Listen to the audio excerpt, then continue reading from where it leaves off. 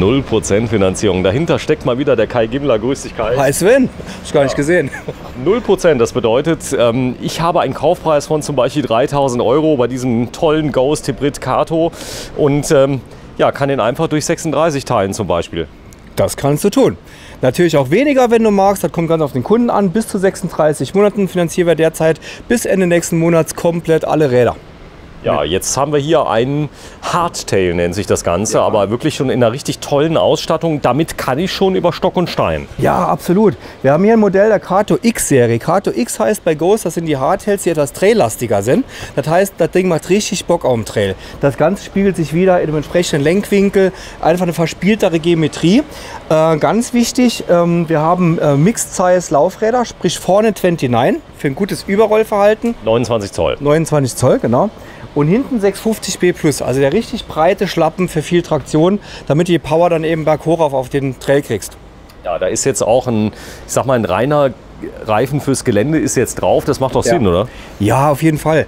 Ähm, mein Gott, du kannst aber doch auf der Straße fahren. Das Schlimmste, was dir geblüht, ist halt ein bisschen höhere Geräuschentwicklung. Aber das Rad soll ja Spaß machen und eben gerade im Gelände. Und das kannst du mit der Bereifung absolut. Das heißt, wenn man den Luftdruck ein bisschen absenkt, zum Beispiel im Wald ist es matschig und so weiter, kann ich unglaublich gut die Traktion in den Waldboden bringen. Richtig. Äh, Luftdruck sprichst du gerade an. Das ist auch eigentlich der Hintergrund der dicken Reifen. Du kannst also hier den Luftdruck sehr stark absenken. Die meisten dieser Räder werden von uns ausgeliefert hat in tubeless, also schlauchlos, sofern der Kunde es möchte. Und dann kannst du natürlich extrem wenig Luftdruck fahren, weil es keinen Schlauch mehr gibt, der sich quetschen ließe. Okay, klasse. Da ist ein Shimano-Motor mit drin. Das bedeutet, es ist ein Pedelec. Ähm, die Leistung, die ich reintrete, die wird praktisch unterstützt äh, durch den Motor. Genau, die wird verstärkt. Du kannst es so vorstellen, übertragen gesagt, du stellst ja am Display ein, wie dick deine Oberschenkel sind. Aber treten musst du letztendlich immer noch selber. Ja, man kann es aber auch so sagen, äh, ich habe ja vorne jetzt nur ein Ritzel. Das ist bei Shimano gibt es, glaube ich, auch nur eins. So, und da, ja. ähm, ich sag mal, indem ich die Power einstelle, kann ich praktisch das Ritzel nochmal äh, ich, ich, kann praktisch mehr Leistung auf die Straße bringen, oder?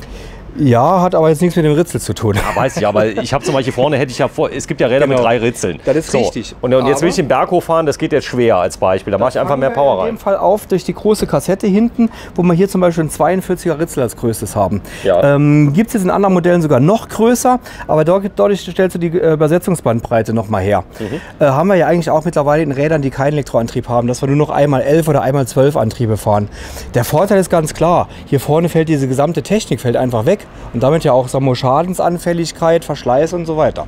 Ja, es ist, früher war es ja noch so, da war ein Umwerfer vorne noch da, genau. der lag irgendwie im Weg, da gab es dann zwei Bautenzüge, die du einstellen ja. musstest. Und da hast du ja müssen, sagen wir, innerhalb der Schaltung orientieren. Du hast müssen wissen, auf welchem Kettenblatt bin ich vorne, um hinten den entsprechenden Ritzel schalten zu können. Fällt alles weg heutzutage das ist so. Ja, es gibt auch eine ganz tolle Bremse. Ganz wichtig ist natürlich immer die Bremse. Da ähm, sparen viele Leute. Hier ist eine Tektro-Bremse, klär mich auf. Genau, eine Zweikolben-Tektro-Bremse und wie du siehst halt mit großen Bremsscheiben. Das ist mittlerweile auch Standard im E-Bike-Bereich, weil man muss ja einfach sehen, die Leute kommen mit den Rädern jetzt nochmal an Stellen, wo sie sich vielleicht vorher jetzt gar nicht überlegt haben, äh, dass sie irgendeinen Berg hochfahren, wo sie den Trail nochmal runterheizen. Und deswegen haben wir also auch hier, wie früher bei Enduro- oder Downhill-Bikes, die äh, großen Scheiben mit drin. 203 mm im Durchmesser. Ja, das Thema Wartung, ist das ungefähr vergleichbar mit einem Nicht-Elektrobike oder hat man einen geringfügig höheren Wartungsaufwand? Ja, den hast du natürlich beim Kettentrieb, aber ansonsten eigentlich wie beim normalen Rad auch. Und die Motoren und die Elektronik und vor allem auch die Akkus, das wird ja oft gefragt, muss man sagen, sind mittlerweile extrem zuverlässig. Also quasi wartungsfrei. Also da lade ich und lade ich, da muss ich kein Öl nachkippen, keine Batterieflüssigkeit, Nein. gar nichts. Noch nicht das, sind, das sind Lithium-Ionen-Akkus, die hier mit dabei sind. Genau.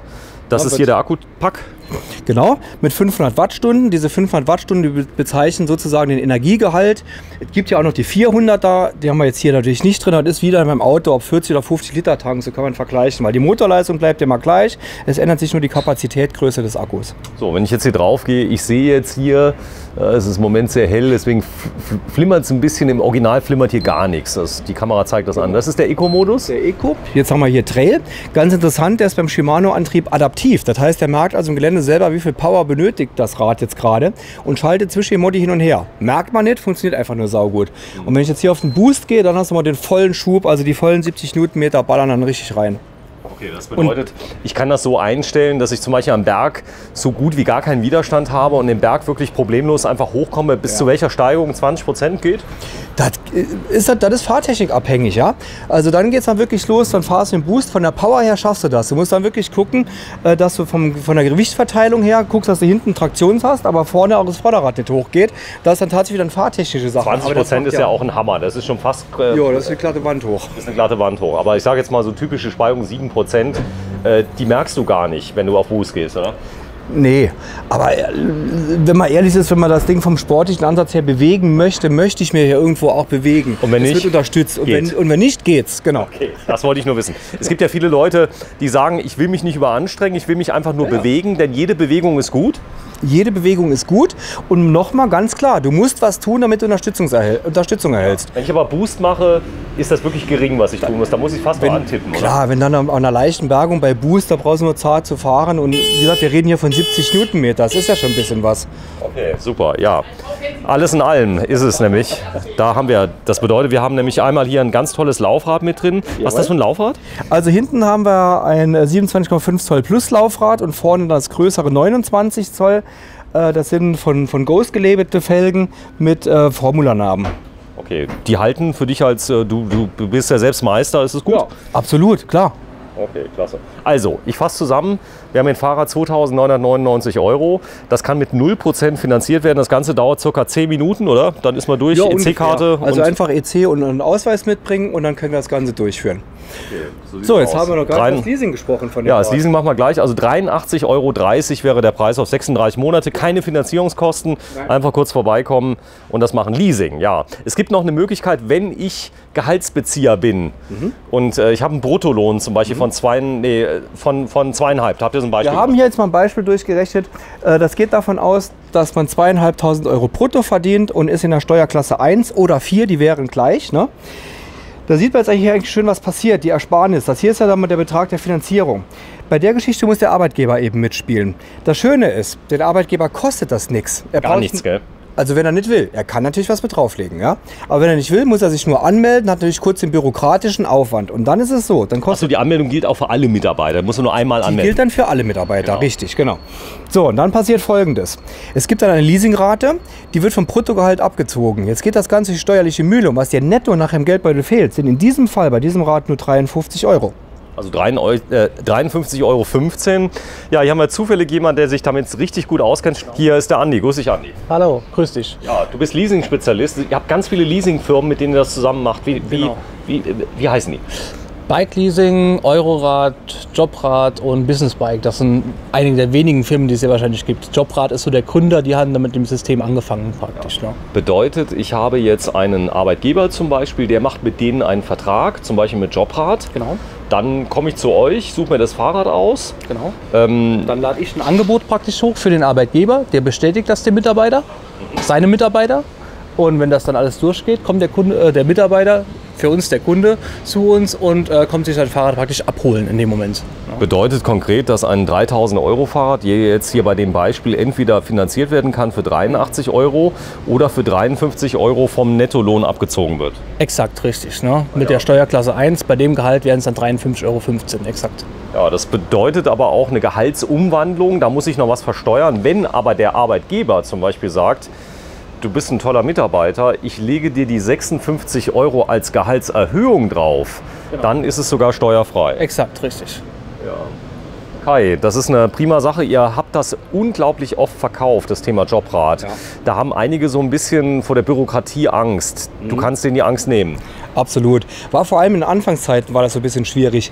Ähm, vielleicht ein kurzer Abriss. Die meisten Arbeitgeber sind dann erstmal zum Steuerberater und zum Rechtsanwalt und die hatten dann, oh mein Gott, 35.000 Bedenken, die aber alle so nicht stattgefunden haben. Weil diese ganze Struktur ist ja feststehend, es ist staatlich gefördert. Es gibt überhaupt gar nichts rechts und links von dem, was diese Leasinggeber vorgeben. Ja? Das, also, ist aber schon lange her. Man das ist lange sagen, her. Jetzt im Moment weil wir haben mittlerweile gute, große Referenzkunden und das war so ein bisschen der Eisbrecher, weißt du, wenn, wenn, äh, wenn dann äh, Gewerbetreibende oder halt eben Arbeitgeber wissen, okay, der macht schon, der macht schon, dann muss es ja irgendwie funktionieren und mittlerweile sind diese Vorbehalte wirklich weggebrochen. Ja, es ist genau, es gibt auch ganz viele Firmen, ähm, die schon mit dir kooperieren. Du darfst mhm. zum Beispiel über eine mal sprechen, das Globus hier in Salui. Mit Sicherheit, klar, genau. Globus Salui ist dabei. Das heißt, wenn man dort arbeitet, kann man direkt zu dir kommen, die haben einen Rahmenvertrag schon. Richtig, genau. Ne? Die kommen dann einfach her, ist auch so eigentlich laufend der Fall. Die kommen zu uns rein. Wir laden, beziehungsweise Andi lädt das Angebot hoch. Also Kunden lädt, sucht sich bei uns ein Rad aus, ist eine ganz normale Beratungsgeschichte bei uns. Ja?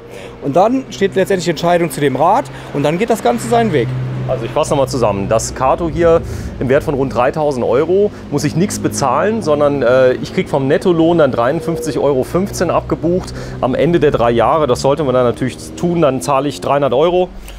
Richtig? Zum Beispiel. Also zum, das zum Beispiel. hängt das davon ab. Leasingabgeber äh, Genau. Englisch. Genau. Wenn ich natürlich noch mehr Geld verdiene, das heißt, ich habe zum Beispiel brutto 3.500, dann ist, ja, ist die Steuersparnis eventuell noch höher. genau, richtig. So ist es. Das heißt, ich habe noch weniger vom Nettoabzug. Ja, eigentlich eine prima Sache. Es müsste eigentlich jeder machen, der arbeitet, oder? Mache mittlerweile auch wirklich viele. Es machen mittlerweile wirklich viele und genau das ist das Ding. Es sind jetzt mittlerweile viele Leasingräder auch im Rad, was sich da einer kennt, einen Nachbarn, der das hat und so weiter. Viele rennen jetzt dann auch zu den Arbeitgebern möchten das durchsetzen und die Chancen werden immer besser. So, wir sind ähm, tatsächlich in Liesdorf, hätte ich fast gesagt. Nee, wir sind im Buß, sind wir. Und da vorne ist nämlich die riesen Roastwurst. Spätestens jetzt weiß jeder, wir sind nämlich im EKC in Buß. Hier ist auch der Rewe und da ist der Eingang zu Kai Gimla. Du hast ein riesengroßes neues Geschäft aufgemacht vor circa einem halben Jahr. Ja, im November war das, ne? Diesen Schritt aber war nötig, oder? Ja, absolut. Hier haben wir jetzt einfach auch für uns haben wir hier super äh, Arbeitsbedingungen, ähm, sowohl von, von den Laufwegen und allem, auch für die Kunden eine schöne, helle Präsentation. Ähm, Passt alles. also nur Vorteile. Ja, man kann sogar im Laden, kann man sogar Probe fahren, wenn es mal regnet und so weiter. Ansonsten genau. kann man hier prima auch die Probefahrten auf dem Parkplatz hier machen. Das klappt Natürlich. gut. Und den Parkplatz ist eh erwähnenswert, weil ich glaube, da sind wir ziemlich einzigartig mit so vielen Parkplätzen vor der Tür. Ja, ihr habt hunderte von Parkplätzen kostenlos alle vor der Tür. Genau. Wo findet man nicht ganz genau? Im EKC im Bus? Im EKC in Buß, genau. Das ist einfach, äh, sagen wir, von der Autobahn Richtung Endstoff abfahren und dann Richtung Buß, Ortseingang, da sind wir zu finden. Also wer das EKC findet, findet auch uns. Also man kann auch in Google eingeben, EKC Bus oder direkt Kai Gimler, dann findet man dich. Die Öffnungszeiten bei dir? Äh, Dienstag bis Samstag 10 bis 18 Uhr durchgehend. Ja, 10 bis 18 Uhr, Kai Gimler, ein äh, Zweirad-Mechaniker, Meister, Fachrichtung Fahrräder. Genau. Das Ganze auch in Frankfurt gelernt. Ich bedanke mich vielmals bei dir und äh, viel Spaß. Und wenn Sie mal ein Fahrrad kaufen möchten, kommen Sie zum Kai. Sie zu uns. Danke, ciao. Ciao.